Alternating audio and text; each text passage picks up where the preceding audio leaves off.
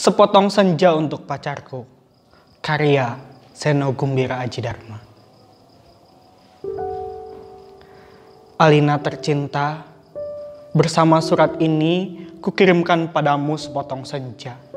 Dengan angin, debur ombak, matahari terbenam, dan cahaya kemasan. Apakah kamu menerimanya dengan lengkap? Seperti di setiap senja, di setiap pantai, tentu ada juga burung-burung. Pasir yang basah, siluet batu karang, dan barangkali juga perahu lewat di kejauhan. Maaf, aku tidak sempat menelitinya satu persatu. Mesti ada juga lokan, batu berwarna-warni, dan bias cahaya cemerlang yang berkeretap pada buih yang bagaikan impian selalu saja membuat aku mengagumkan segala hal yang paling mungkin kulakukan bersamamu. Meski aku tahu, semua itu akan tetap tinggal sebagai kemungkinan yang entah kapan menjadi kenyataan. Kukirimkan sepotong senja ini untukmu. Alina, dalam amplop yang tertutup rapat dari jauh karena aku ingin memberikan sesuatu yang lebih dari sekedar kata-kata. Sudah terlalu banyak kata-kata di dunia ini, Alina. Dan kata-kata ternyata tidak mengubah apa-apa. Aku tidak akan menambahkan kata-kata yang sudah tak terhitung jumlahnya dalam sejarah kebudayaan manusia. Untuk apa Kata-kata tidak ada gunanya dan selalu sia-sia. Lagi pula, siapakah yang masih sudi mendengarnya? Di dunia ini semua orang sibuk berkata-kata. Kata-kata tanpa berkata-kata tanpa peduli apakah ada orang lain yang mendengarnya. Bahkan mereka juga tidak peduli dengan kata-katanya sendiri. Sebuah dunia yang sudah kelebihan kata-kata tanpa makna. Kata-kata yang sudah luber dan tidak dibutuhkan lagi. Setiap kata bisa diganti artinya, setiap arti bisa diubah maknanya. Itulah dunia kita, Alina. Kukirimkan sepotong senja untukmu, Alina. Bukan kata-kata cinta. Kukirimkan padamu sepotong senja yang lembut dengan langit kemerah-merahan yang nyata dan betul-betul ada dalam keadaan yang sama seperti ketika aku mengambilnya saat matahari tenggelam di balik cakrawala. Alina yang manis, Alina yang sendu. Akan aku ceritakan padamu bagaimana aku mendapatkan senja ini untukmu. Sore itu aku duduk seorang diri di tepi pantai memandang yang terdiri dari memandang dunia yang terdiri dari waktu, memandang bagaimana ruang dan waktu bersekutu, menjelmakan alam itu untuk mataku. Di tepi pantai, di tepi bumi, semesta adalah sapuan warna keemasan dan lautan adalah cairan logam, meski buih pada debur ombak yang mengempas itu tetap saja putih seperti kapas dan langit. Tetap saja ungu dan angin tetap saja lembab dan basah, dan pasir tetap saja hangat ketika kususupkan kakiku ke dalamnya. Kemudian tiba-tiba senja dan cahaya gemetar, keindahan berkutat melawan waktu, dan aku tiba-tiba teringat padamu. Barangkali senja ini bagus untukmu. Pikirku, maka kupotong senja itu sebelum terlambat kukerat pada empat sisi, lantas kumasukkan ke dalam saku. Dengan begitu, keindahan itu bisa abadi dan aku bisa memberikannya padamu. Setelah itu aku berjalan pulang dengan perasaan senang. Aku tahu kamu akan menyukainya karena kamu tahu itulah senja yang selalu kamu bayangkan untuk kita.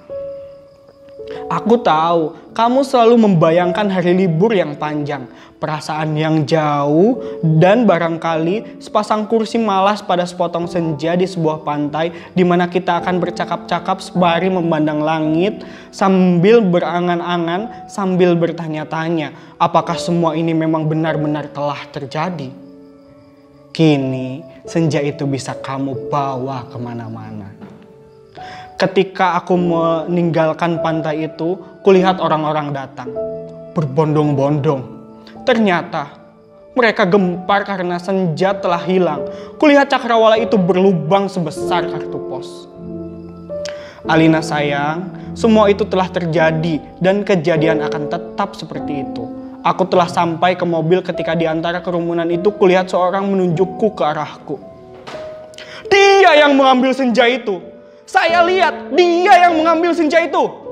Kulihat orang-orang melangkah ke arahku, melihat gelagat itu aku segera masuk mobil dan tancap gas. Catat nomornya, catat nomornya. Aku melejit, melejit di ke jalan raya, ku kebut mobilku tanpa perasaan panik. Aku sudah berniat memberikan senja itu untukmu dan hanya untukmu saja, Lina. Tak seorang pun boleh mengambilnya dariku. Cahaya senja yang kemasan itu berbinar-binar di dalam saku. Aku merasa cemas ketika meskipun kaca mobilku gelap, tapi cahaya senja tentu cukup terang ter dilihat dari luar. Dan ternyata cahaya senja itu memang menembus segenap cahaya dalam mobilku, sehingga mobilku itu meluncur dengan nyala cemerlang ke aspal maupun ke angkasa.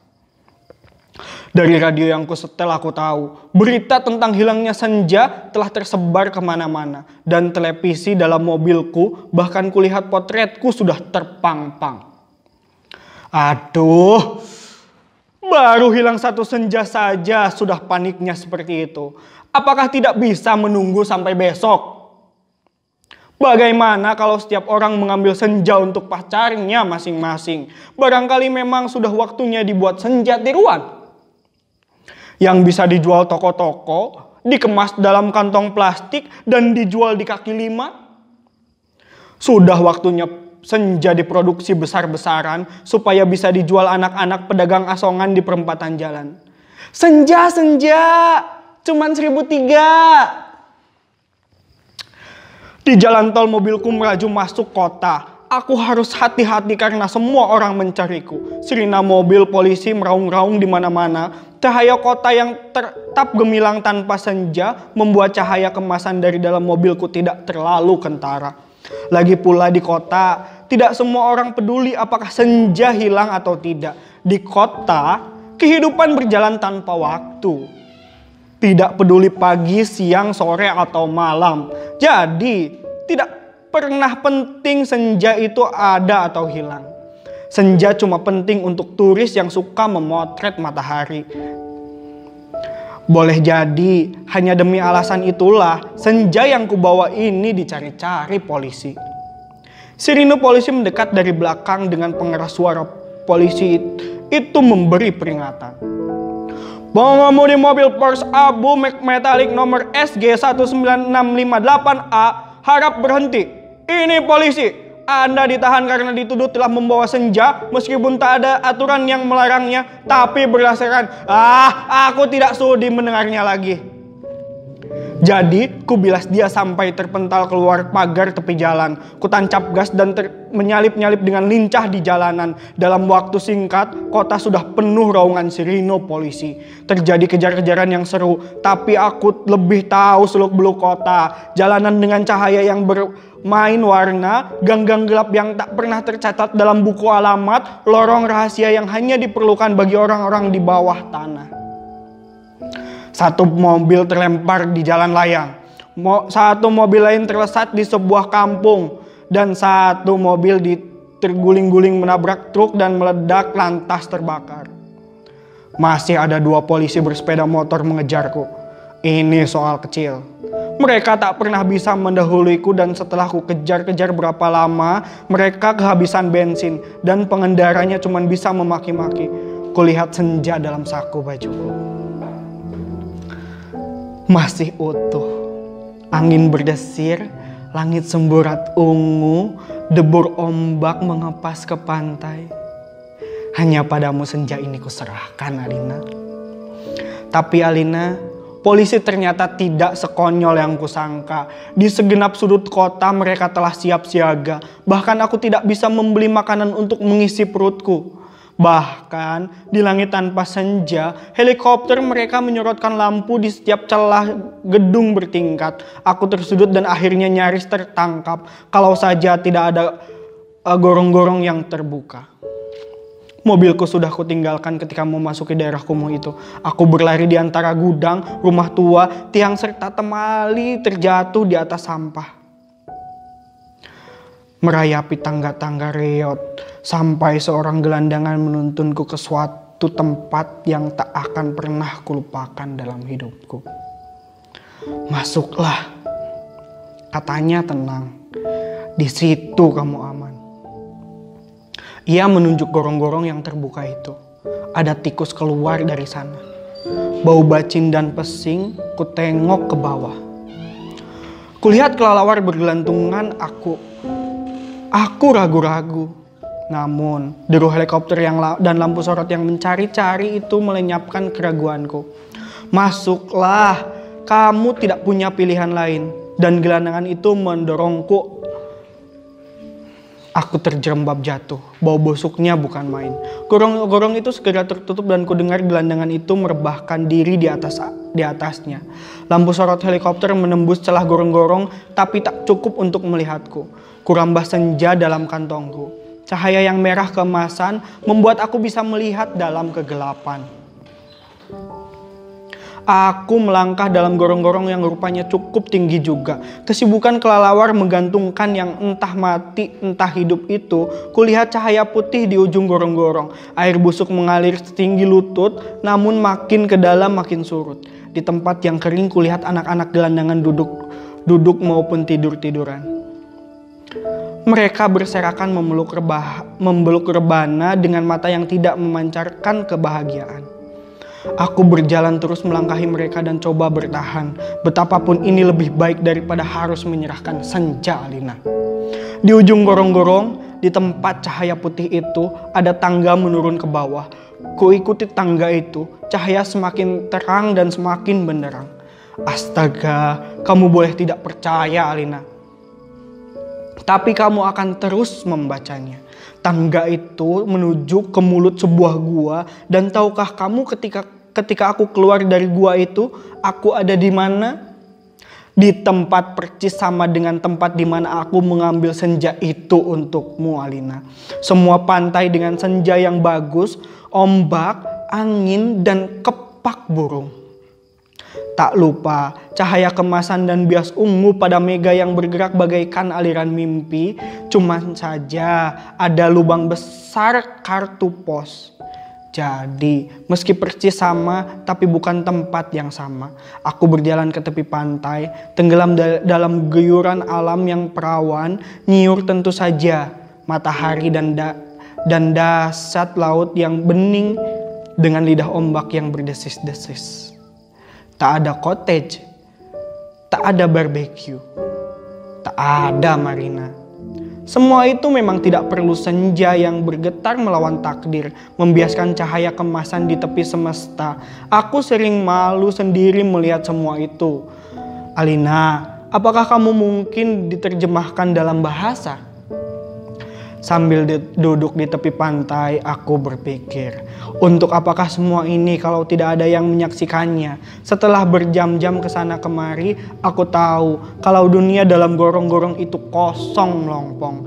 Tak ada manusia, tak ada tikus, apalagi dinosaurus. Hanya burung-burung yang yang terkepak, tapi itu sepertinya bukan burung yang bertelur dan membuat sarang. Ia hanya burung-burung yang dihadirkan sebagai ilustrasi senja. Ia hanya burung-burung berkepak dan dan berkepak terus di sana. Aku tidak habis pikir, Arlina. Alam seperti ini dibuat untuk apa? Untuk apa senja yang bisa dibuat seorang ingin jatuh cinta itu jika tidak ada seekor dinosaurus pun penikmatnya? Sementara di atas sana orang-orang ribut kehilangan senja. Jadi, begitulah Alina. Ku ambil juga senja itu, ku kerat dengan pisau Swiss yang selalu kubawa pada empat sisinya. Sehingga pada cakrawala ilut itu berbentuk lubang sebesar kartu pos dengan dua senja di saku kiri dan kananku.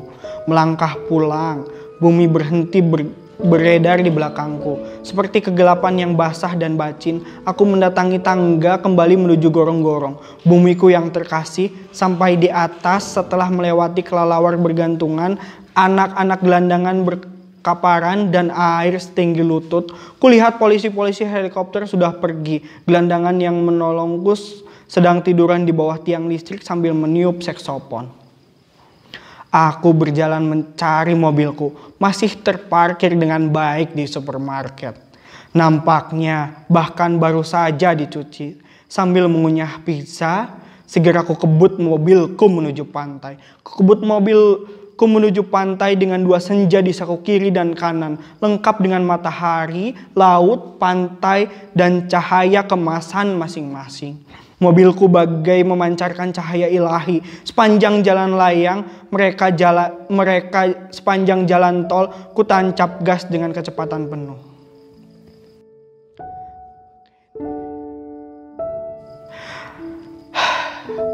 Alina kasihku, pacarku, wanitaku, kamu pasti sudah tahu apa yang terjadi kemudian. Kupasang senja yang dari gorong-gorong pada lubang sebesar kartu pos itu dalam ter dan ternyata pas. Lantas, kukirimkan senja yang asli ini untukmu lewat pos. Aku ingin mendapatkan apa yang kulihat pertama kali, senja dalam arti yang sebenarnya. Bukan semacam senja yang ada di gorong-gorong itu. Kini, gorong-gorong itu betul-betul menjadi gelap Alina. Pada masa yang akan datang, orang-orang tua akan bercerita pada cucunya tentang kenapa gorong-gorong menjadi gelap. Mereka akan berkisah bahwa sebenarnya ada alam di bawah gorong-gorong dengan matahari yang rembulannya sendiri. Namun, semua itu tiada lagi karena seorang telah mengambil senja untuk menggantikan senja lain di atas bumi. Orang-orang tua itu juga akan bercerita bahwa senja yang asli telah dipotong dan diberikan oleh seseorang kepada pacarnya. Alina yang manis, paling manis dan akan selalu manis. Terimalah sepotong senja itu hanya untukmu dan seorang yang ingin membahagiakanmu. Awas hati-hati dengan lautan dan matahari itu. Salah-salah, cahayanya membakar langit dan kalau tumpah, airnya bisa membanjiri permukaan bumi. Dengan ini, kukirimkan pula kerinduanku padamu.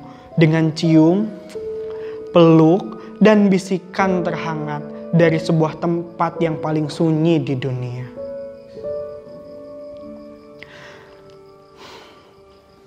Terima kasih.